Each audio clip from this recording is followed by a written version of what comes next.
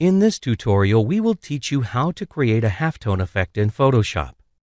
First of all, grab the Text tool and input the text. For this tutorial, we have used Kokila for the font, using 200 points for the size, 50 for spacing, and 2E, 2E, 2E for the color. Now place the text at the center of the canvas and rasterize the layer. Now go to the Filter menu, move over to Blur and select the Gaussian Blur option. Use 27 pixels for the radius and apply the filter. Once done, duplicate the layer multiple times until the basic form is clearly visible on the screen. Here we have duplicated the layer nine times and merged all the layers into a single layer. With that done, go to the Image menu, move over to Adjustment, and click on the Brightness Contrast option.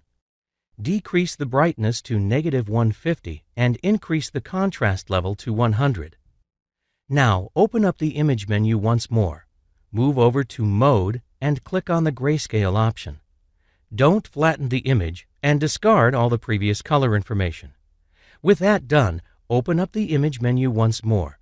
Move over to Mode and select the Bitmap option. Flatten all the layers, set the output to 72 pixels per inch, and use the halftone screen method for the conversion. In the next window, set the frequency to 8 lines per inch, angle to 45 degrees, and shape to round. Click on the OK button, and there you have it. Now we will add the text using the same font style as before and place the text at the center of the image.